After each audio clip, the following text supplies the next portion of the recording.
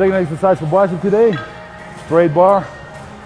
We're doing always for like three to four sets, 10 to 12 reps.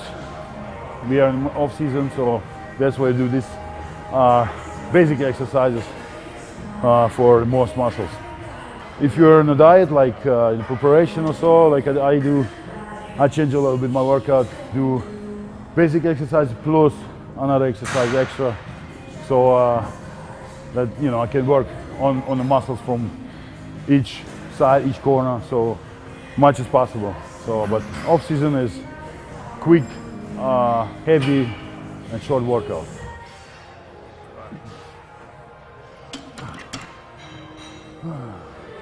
Off-season training is uh, uh, a little bit different, a little bit shorter than uh, my workout when I'm in preparation.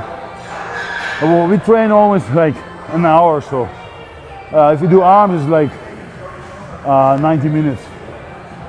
Um, um, what we do is, uh, you know, a lot of basic exercises, heavy basic exercises in the off season, and then uh, yeah, and then moving to to uh, preparation uh, time. There's gonna be we're just adding more exercises to it. You know, like I said, more, more extra exercises like the cables and things like these machines.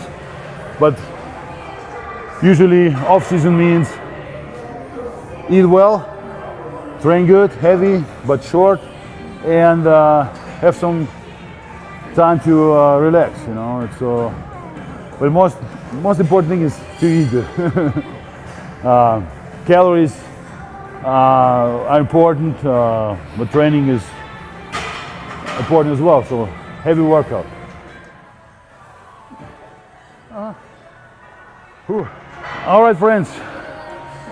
We're here for the last exercise for bicep, and it's gonna be hammer curls. Hammer curls are good. Uh, not just bicep, also another part of bicep, the brachialis and forearm. So, but we trying to focus on the bicep, so it's also good for peak.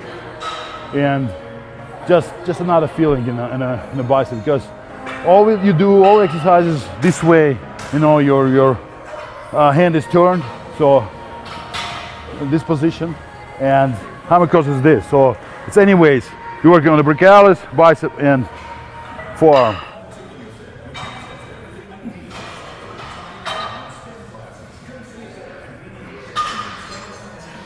Yeah, we were talking about, you know, if you have some some uh, issues with muscles, tendons, or any pain while you're working out.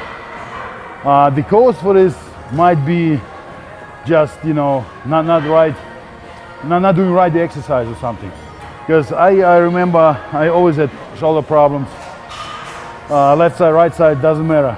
Always had problems.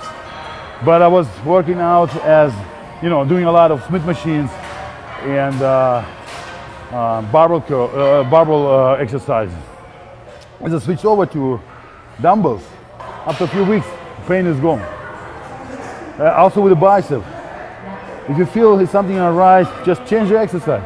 Try to work or train different a little bit. Just small changes make a big difference. So, and uh, I'm talking for uh, you know for myself. That that's my experience, and uh, that's that's what I did in the last uh, years. You know, I always change something if I had problems uh, during my uh, workouts. So, be careful, guys. That's most important. If you hurt, nobody gonna help you anymore because if you tear something up, it's gone. so be careful and uh, train smart. All right, we're done with arms. It was great, good workout, heavy workout. I'm really uh, catching breath here. uh, yeah, gonna see you tomorrow. Next video is gonna be chest. And uh, yeah, looking forward to it.